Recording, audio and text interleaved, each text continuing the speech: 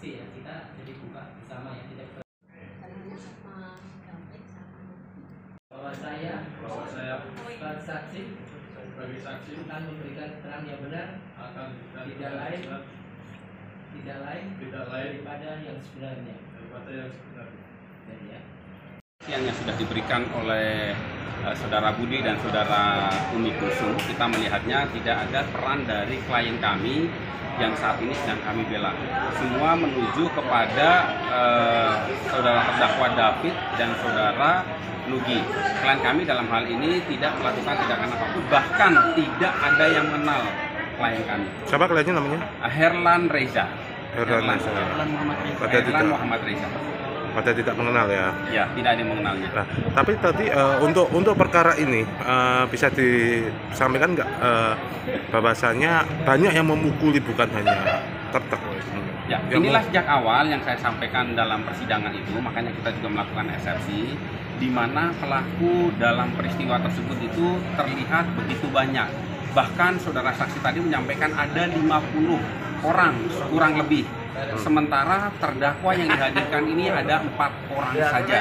Artinya di sini bias, di mana eh, peran para pelaku ini yang empat orang ini hanya eh, didapati melakukan pemukulan di area eh, badan sementara visum et repertumnya itu di area kepala dari keterangan saksi yang terjadi pada persidangan hari ini Hmm, hmm. Jadi tidak tidak fatal intinya atau gimana? Eh, saya tidak bilang fatal ya karena saya tidak membela yang apa namanya rekan dari saudara David ataupun Ugi namun saya membela saudara Herlan klien kami jadi kapasitas saya hanya bicara terkait Hmm. peran Herlan Oke. siap. Jadi untuk ini kan tadi terdakwa bisa dihadirkan itu gimana? Terdakwa bisa dihadirkan. terdakwa akan selalu hadir dalam ruang persidangan karena ini sudah ditetapkan oleh majelis hakim dalam sidang tanggal eh, 12 kalau nggak salah 20 eh, tanggal berapa waktu itu? Selasa minggu lalu. Selasa minggu depan. Ya. Sidang berikutnya Ah. ya, tanggal 21 Maret 2023. Oke. Jadi untuk penetapan ini pendatangan terdakwa dari kemarin. Ya. Ya, terus nanti sidang diundur. Tanggal 21 Maret 2023 Oke, siap. dan selalu menghadirkan terdakwa. Oke. Ada berapa terdakwa? Terdakwa yang hadir hari ini Enggak, ada- maksudnya saksi yang dihadirkan nanti. Saksi yang akan hadir dari pihak JPU itu ada 11 dan dari pihak kita mungkin sekitar dua orang saksi yang ada charge mungkin dijelaskan kepada rekan.